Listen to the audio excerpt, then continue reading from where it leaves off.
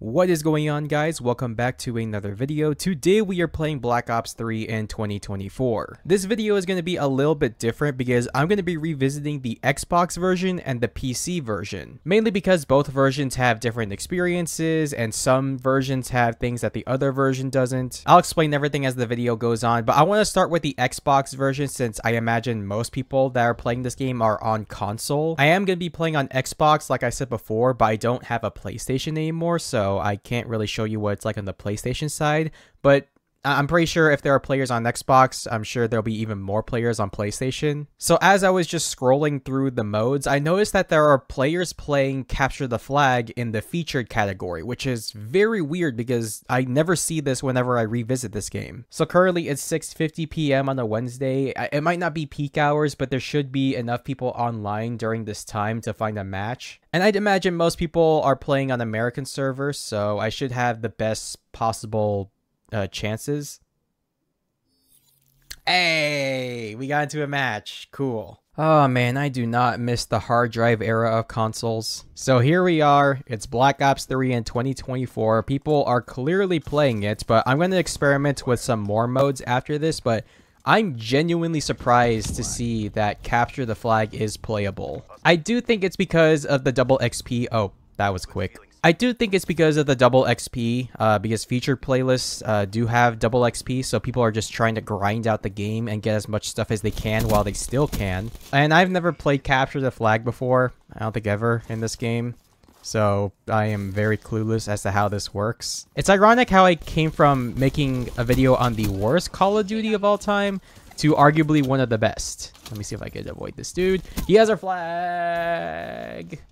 He has our flag. Someone please kill him. Are you gonna do it? What the Am I just not used to Where are my attachments, bro? Okay, I think I'm just gonna stick to this KN44 because I clearly can't use anything else at the moment and there's a thing.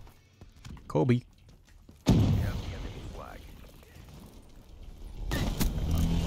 No, no, no, no, no, no, not the worms or whatever that is.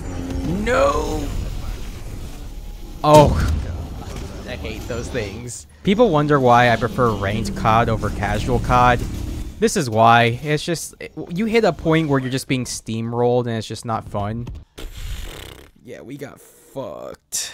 This guy in the bottom was just AFK, just farming. He, he's he's one He's level 1, so he has to be farming. Despite me being completely destroyed there, I'm pretty glad that Capture the Flag is playable. Gives players variety. I know this is kind of a hot take, but Black Ops 3 is arguably the second best Call of Duty of all time. In general, I just really liked the advanced movement era of Call of Duty, and Black Ops 3 was definitely the best of the three. I just like how the movement just gave you so much freedom. You weren't locked to anything like how it was in Advanced Warfare.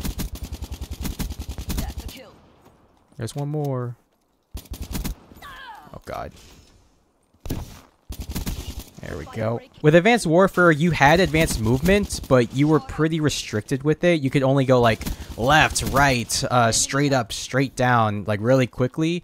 It was nice and it was fun, but Black Ops 3 basically gave you so many more options and he's just in he's just camping for the for the spawns is that, is that capture the flag thing no they're gonna take it back mother i wish it was like halo where you had to like stay in a certain area for a certain amount of time this one it's like even if you just touch it, it'll just go back. That's annoying.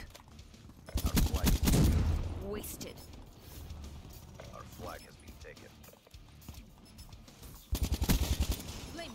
Oh no! The mine! Boom. We should be good now.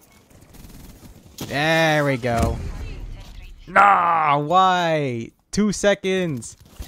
And you're there still. I don't know. What, what are you doing, bro?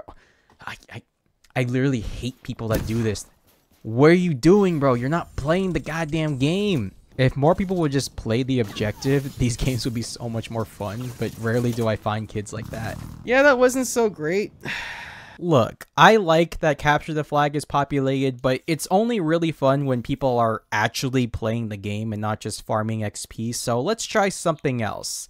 Let's see. Let's see if Team Deathmatch is populated, because it says there are zero players, but as we know, percentages aren't always accurate.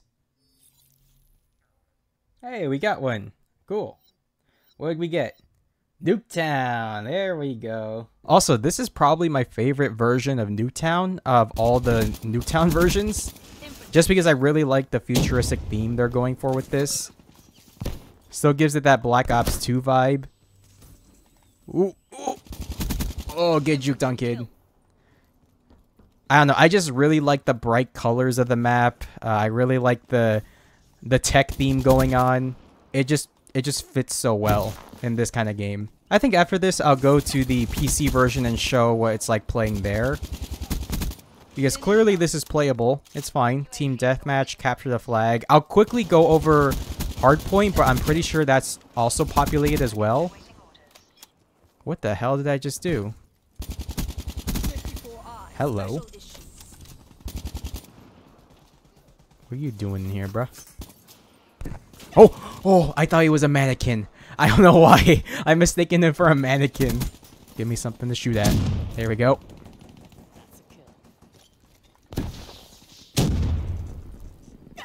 Oh. Oh! Let's go! Give me something to shoot at. One more. How is that not a hit, bruh? Ain't no way that's not a hit. So far, what are you guys' thoughts on Black Ops 3? Do you still play it in 2024? Uh, did you play it at any point in your uh, in your life?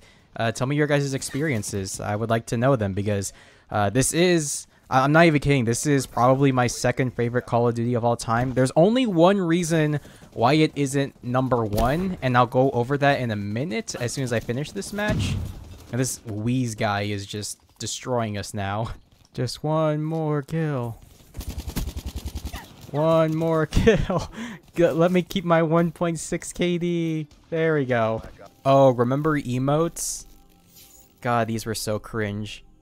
I mean, they were sometimes cool, but I'd say about most of the time they were pretty cringe.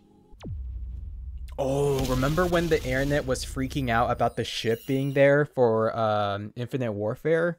There was a teaser event going on where if you finish a Nuketown match, you'd get you get the ship that you would see in the game in the background when Nuketown blew up, and then you get like a symbol from one of the factions in Infinite Warfare at the end screen. It was really cool. The only reason why I don't consider this game to be my number one game is because of the black market. And I know there's this movement of we should go back to loot boxes because they were more generous. They gave you free stuff. Uh, no, you like the free aspect of loot boxes. You like the concept of being able to build up points and get free cosmetics and free items. I understand that, but loot boxes are not the answer to that. Loot boxes in general is just unrestricted gambling that anyone from I don't know, a kid to an adult can play. And worst of all, they had pay to win items. I believe I have a class set up for one of them.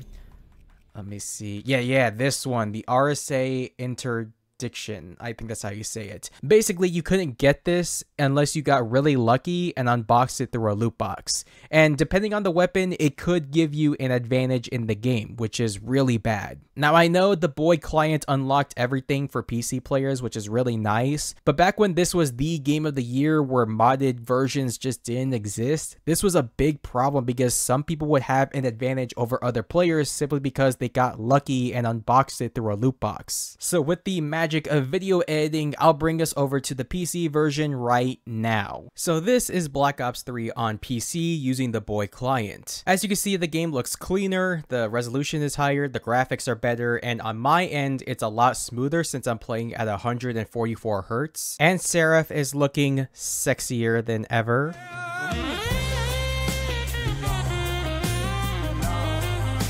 And I wonder why I'm chronically single. Anyways, the best part about this mod is that it unlocks everything for free for everyone, so if you go into the create a class. I have a bunch of classes set up with a bunch of uh, black market items that were locked behind loot boxes before, but thanks to the mod, I can use them freely uh, without any restrictions. And the same thing can be said with specialists. If you go into Seraph's uh, customization, everything is unlocked in the black market, which also means that the black market itself with the loot boxes you don't need any of that. Everything is unlocked. You don't have to pay for anything or grind for anything if you don't want to.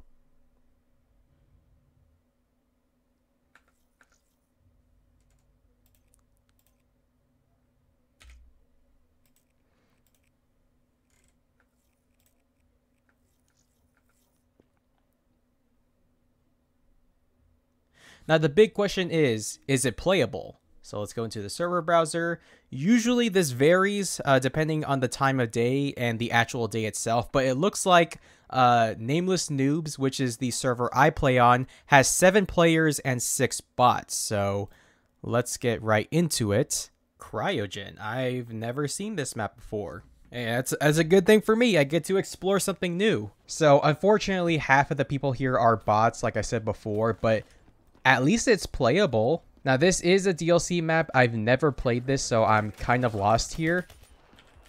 But the good thing about this is that I didn't have to pay a single dime to get access to this.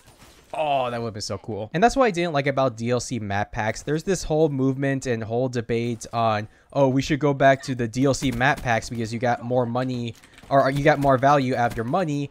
Well, yes and no. Uh, the, the thing is, yeah, you got more for $15 per map pack, but the problem is you were severely punished if you didn't get the map packs. You know what, this gun kind of sucks. Like, for example, when I was uh, first playing this back in 2015, 2016, I did not have digital currency. I was 14 years old. I didn't have a credit card or a debit card to purchase DLC map packs with. I mean, hell, my parents were very anti-gamer. I was just thankful to have the game in the first place. But that also meant I had zero access to DLC stuff, so I was left out on half the game, uh, most of zombies, and that, that just wasn't okay with me. That kind of sucked. Oh, that would be so cool I got that third. These days, DLC maps are free, but the catch is that skins are like 20 bucks a bundle. And I know that's very expensive for what they actually are, which are just pixels on the screen. But I'd rather have expensive optional skins that don't affect the gameplay over $15 DLC map packs that do affect the gameplay. Let's let's change this weapon up. Uh, what should we use next? MX Garand? Yeah, I'll use this for now. Ooh, it has the ping too. That's nice. you can't... I'm pressing the R button. You can't reload with this gun? That's crazy. You have to dump the whole mag to reload. It's little things like that where I never really got to experience these unique weapons just because they were locked behind loot boxes. That was terrible, my god. Just having these unique weapons that make the game more interesting locked behind loot boxes, making them pay to win was just so messed up in my opinion. Oh, this is the uh, infinite ammo LMG. This was crazy. Basically, this thing does have a magazine, but only reloads with time. You can't manually reload it. You just have to wait. Huh. Oh, that's bull. But look how my ammo count is like slowly reloading. Let me shoot in the air. Look how it's slowly reloading. I have to wait for the bullets. I can't just reload it. It really is unfortunate that a lot of people aren't playing this mod anymore because I would love to play this with normal lobbies with normal people, but I guess people just aren't interested in Black Ops 3 anymore. And hopefully this video kind of inspires people to come back into the BOIII client because I would really love to play with you guys and again, I'd love to play normal matches with normal people. I'd say both the console and PC versions are worth checking out. However, if you are going to play this on PC, I strongly very strongly recommend you to download the BOIII client and play the game through that simply because it's a lot safer you don't have to worry about people leaking your ip address or spin botting you in every other lobby population wise it'll just depend on the time of day and where you live so that is going to be it for today's video. What are your guys' thoughts on Black Ops 3? Let me know down in the comments below. I hope you enjoyed the video. Leave a like, subscribe for more content, and I'll talk to you all later.